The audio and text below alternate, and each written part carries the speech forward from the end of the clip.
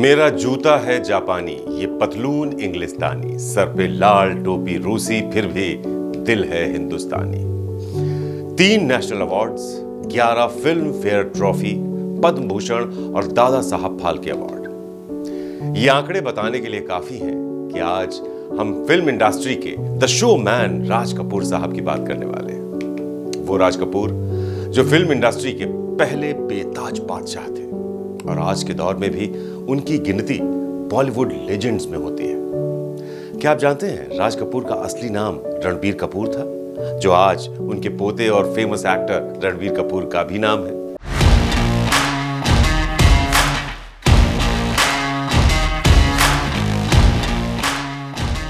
प्यार हुआ, इकरार हुआ है, प्यार से फिर क्यों डरता है दिल?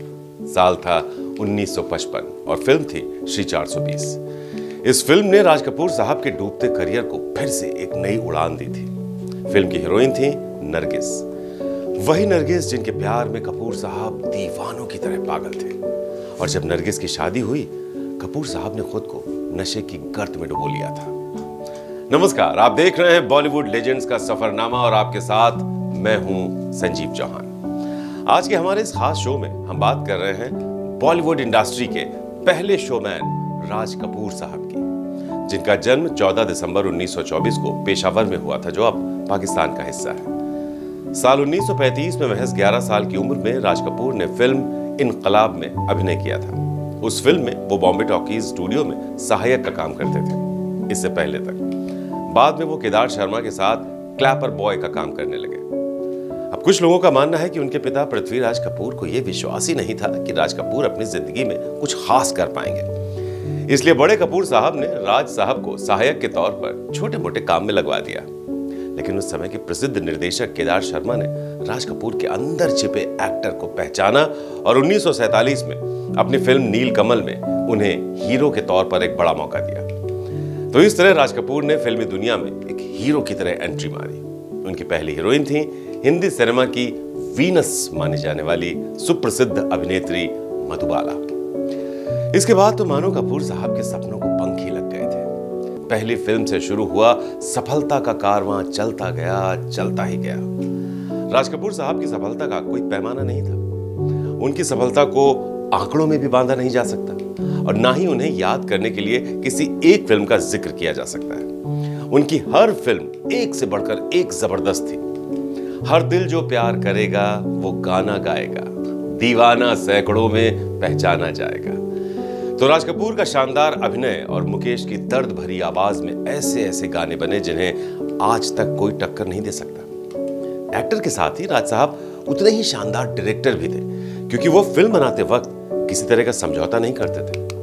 उनके बारे में कहा जाता है कि वो अपनी हर फ़िल्म में अपनी हीरोइन को एक बार सफ़ेद साड़ी ज़रूर पहनाते थे।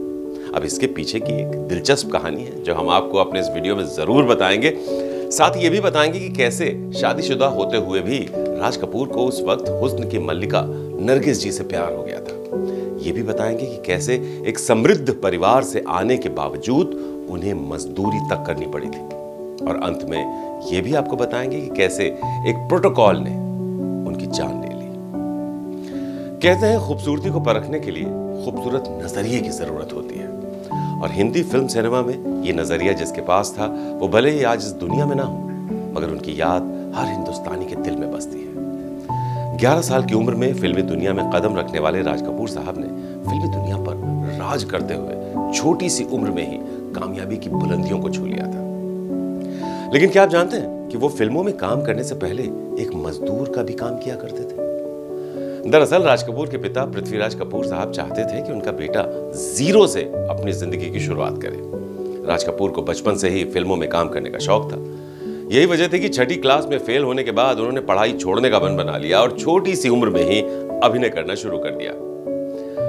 हम उस देश के वासी हैं जिस देश में गंगा बहती है। वाकई, एक से बढ़कर एक बेहतरीन फ़िल्में, शानदार गाने जो आज भी ज़ुबान पर एकदम ताज़ा है। राज कपूर साहब न सिर्फ़ एक बेहतरीन एक्टर थे, बल्कि उन्होंने अपना नाम राइटर प्रोड्यूसर डायरेक्टर और एक एडिटर के रूप में भी अव्वल दर्जे पर रखा था। तीन भाइयों में सबसे बड़े राज कपूर ने साल 1946 में अपने परिवार की मर्ज़ी से उनकी पसंद की लड़की से शादी की थी। उनकी पत्नी का नाम कृष्णा मल्होत्रा था। कृष्णा और राज कपूर के तीन बेटे और दो बेटियाँ हुई। तो दोस्तों, राज साहब की शानदार करियर को जानने और उन्हें समझने के लिए आपको उस 24 साल के लड़के के पास चलना होगा, जो छोटी सी उम्र में न सिर्फ़ एक्टर, बल्कि डायरेक्टर भी बन गया था। वो लड़का, जिसने खुद को फ़िल्म मेकिंग का एक ऐसा चलता फिरता इंस्टीट्यूट बना लिया, जिसे आज भी लोग पढ़ते हैं, इंस्पिरेशन लेते हैं। जो भी राज साहब के करीब जाता है, कुछ ना कुछ सीख कर ही वापस आता है। शोमैन बनकर आए और शोमैन बनकर ही गए, लेकिन उनका शो आज तक जारी है। जीना यहाँ, मरना यहाँ, इसके सिवा जाना कहाँ? उनकी फ़िल्म मेरा नाम जोकर में, उस वक्त की सबसे बड़ी स्टार कास्ट ने लोगों को दीवाना बना दिया था। अब कहने वाले तो ये भी कहते हैं कि राज कपूर शुरुआत में म्यूज़िक डायरेक्टर बनना चाहते थे, लेकिन वक्त के साथ चलते चलते वो सब कुछ बन गए। तो शुरुआत होती है चौबीस साल की उम्र से, फ़िल्म आग के निर्देशन के साथ। उस वक्त वो सबसे युवा फ़िल्म निर्देशक बनकर सामने आए। 1948 में उन्होंने आर के फ़िल्म के नाम से अपना फ़िल्म स्टूडियो बनाया और इस स्टूडियो की पहली फ़िल्म बरसात थी। फ़िल्म में उनका और नरगिस का एक सीन इतना ज़बरदस्त हिट हो गया कि बाद में वही आर के फ़िल्म का लोगो भी बन गया। उस दौर में किसी के लिए भी फ़ेमस होना आम बात नहीं थी। लेकिन राज कपूर उस वक्त पहले ऐसे इकलौते एक्टर थे जो देश ही नहीं, दुनिया भर में मशहूर थे। राज कपूर की फ़िल्म मेरा नाम जोकर हिंदुस्तान की पहली ऐसी फ़िल्म थी, जिसमें दो इंटरवल्स थे। यह फ़िल्म पूरे साढ़े चार घंटे लंबी थी, जो आज भी हिंदी फ़िल्म इंडस्ट्री की सबसे लंबी और सबसे मशहूर फ़िल्म है। कहते हैं इस मेगा स्टार फ़िल्म को बनाने के लिए राज साहब ने अपनी सारी ज़िंदगी की पूंजी दांव पर लगा दी थी, और इसी फ़िल्म से उन्होंने अपने बेटे ऋषि कपूर को भी लॉन्च कर दिया था।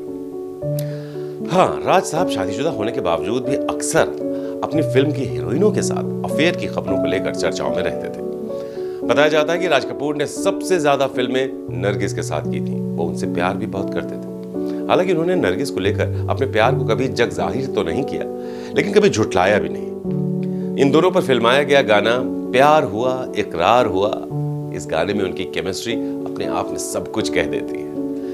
तो राज कपूर और नरगिस ने आवारा, श्री 420 और बरसात जैसी करीब 16 फ़िल्मों में एक साथ काम किया था। दावा किया जाता है, नरगिस भी उन्हें बेहद चाहती थी। राइटर मधु जैन ने अपनी किताब first family of Indian cinema the Kapoors में लिखा है। नरगिस ने अपना दिल, अपनी आत्मा और यहाँ तक कि अपना पैसा भी राज कपूर की फ़िल्मों में लगाना शुरू कर दिया था।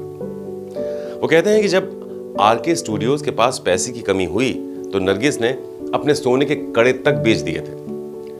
लेकिन राज कपूर के साथ नौ साल लंबा रिश्ता होने के बाद जब नरगिस को यह लगने लगा कि राज उनकी तरफ़ पूरा ध्यान नहीं दे रहे और दोनों के रिश्तों का कोई भविष्य नज़र नहीं आ रहा तो नरगिस ने उनके साथ एक दूरी बनानी शुरू कर दी।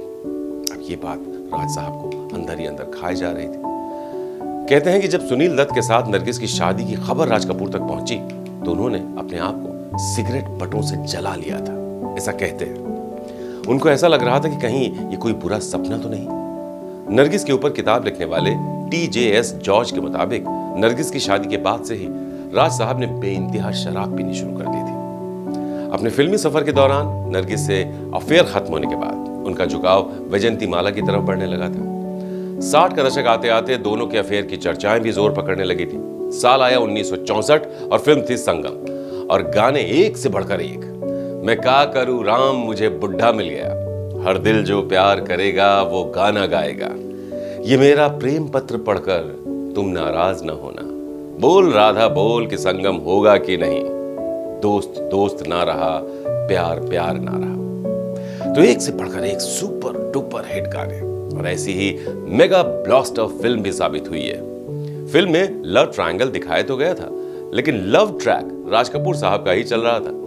जुबली कुमार, राजेंद्र कुमार तो बस एक साइड रोल में थे। राज साहब का प्यार एक बार फिर परवान चढ़ चुका था।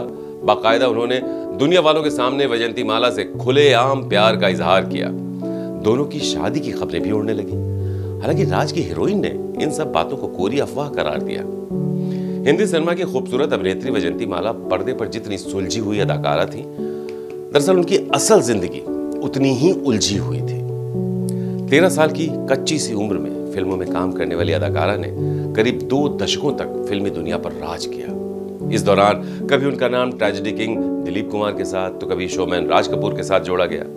फ़िल्म संगम के दौरान उनकी राज कपूर के साथ बड़ी नजदीकियाँ राज की पत्नी को इतना खटकी कि वो घर छोड़कर चली गई। करीब साढ़े चार महीने तक वो अपने बच्चों के साथ मुंबई के नटराज होटल में रही।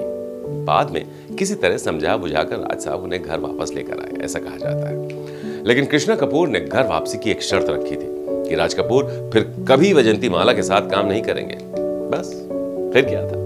कपूर साहब को होम मिनिस्टर की बात माननी पड़ी और इस तरह उनकी दूसरी लव स्टोरी का भी द एंड हो गया। खैर, वक्त आगे बढ़ता है और अब बारी आती है उनकी तीसरी लव स्टोरी की। कहा जाता है कि वैजंती माला से अलग होने के बाद राज साहब ने अभिनेत्री पद्मिनी को भी डेट किया था। अब इस बात का खुलासा राज के बेटे ऋषि कपूर ने साल 2017 में किया था। तो दोस्तों, जैसा हमने आपको शुरुआत में बताया था कि राज कपूर अपनी हर फ़िल्म की हीरोइन को सफ़ेद साड़ी ज़रूर पहनाते थे।